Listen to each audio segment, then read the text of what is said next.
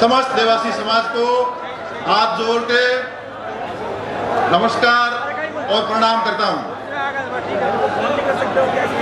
जैसा कि वक्ताओं ने कहा है कि दो मिनट या तीन मिनट का समय लेना है तो मैं अपनी संक्षिप्त में बात करना चाहता हूँ समस्त समाज को हाथ जोड़ करके कि जिस तरह से अपने को आरक्षण मिला है, आरक्षण की बात कर रहे हैं पाँच परसेंट जो आरक्षण मिला है अपने को, अति पिछड़ा वर्ग के रूप में, अति पिछड़ा वर्ग मतलब मोस्ट बैकवर्ड क्लास तो अभी हम उस पाँच परसेंट आरक्षण का पूर्ण रूप से उपयोग नहीं कर पा रहे हैं। इसके बारे में समाज समाज से निवेदन रहेगा कि वो इस बात पे विचार करें।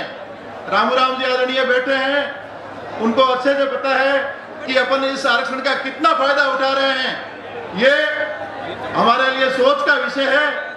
अपन उसका अभी तक पूर्ण रूप से नहीं उठा रहे हैं। दूसरी बात में इसमें एक महत्वपूर्ण बिंदु है कि जब हमें अन्य पिछड़ा वर्ग से, यानी ओबीसी से अति पिछड़ा वर्ग में लिया गया, यानी मोस्ट बैकवर्ड क्लास में लिया गया तो मोस्ट बैकवर्ड क्लास में लिया गया तो हमारे ऊपर एक क्रीमी लेयर की लकीर भी नहीं होनी चाहिए।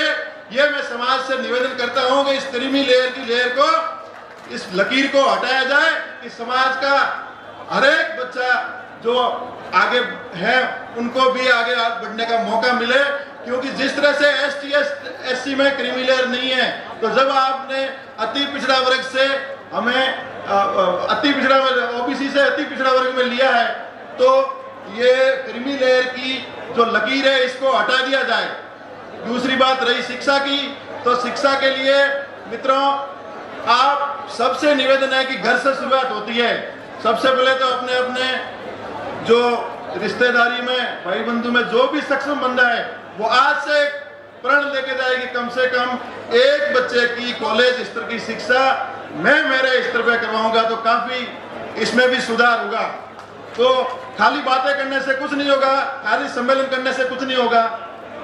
ये बातें करना बहुत ज़रूरी है। दो मिनट से। दूसरा सामाजिक बुराइयों की बात आई तो जो ये मृत्यु भोज वाली बात है, वो सारे समाजों ने बंद कर दी है, आपके आसपास जो रहते हैं। जो सारे अच्छे से दूसरे समाज सभी ने बंद कर दी है, लेकिन अफसोस की बात है कि देवासी समाज अभी भी उस कुप्रथा को डोरा है।